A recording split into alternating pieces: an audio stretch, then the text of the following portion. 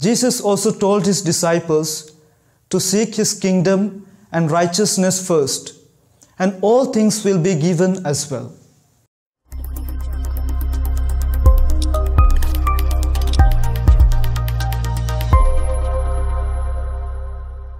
Today, the Lord wants each one of us to have one master, and that is God Himself. He does not want anyone to be enslaved by wealth, which is temporary, because it makes us slave and becomes a source of worry and anxiety. During the time of Jesus, the continuous supply of food and clothes were rare and considered a luxury. People were often worried and anxious about how to meet their needs. Therefore, Jesus puts before them three important things. First, not to worry about physical necessities because very often their entire existence was based on their needs and not on the life and body which are more valuable.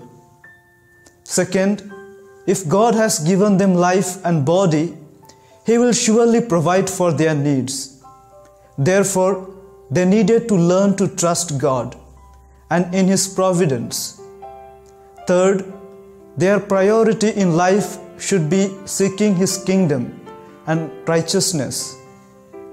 Unlike the people in Jesus' time, we are no longer worried about food, clothing, and shelter. There is plenty. Food, clothing, and shelter are basic necessities of life. It is not wrong to work for these. Then, in what way can we be wrong? If we ignore and neglect these basic needs in our life, working day and night and then worrying over how to keep what we have and how to make more and more. Never being satisfied with what we have and coveting to have more and more, bigger and bigger.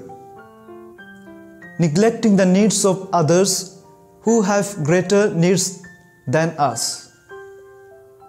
Jesus also told his disciples to seek his kingdom and righteousness first and all things will be given as well. It means God will fulfill all our needs if we take care of His mission, which is entrusted to us by Jesus. So, how can we pursue His kingdom and righteousness?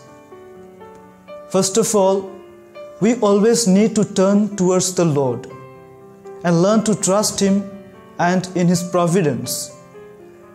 Secondly, we need to use our God given abilities, talents, and other resources for the need of others.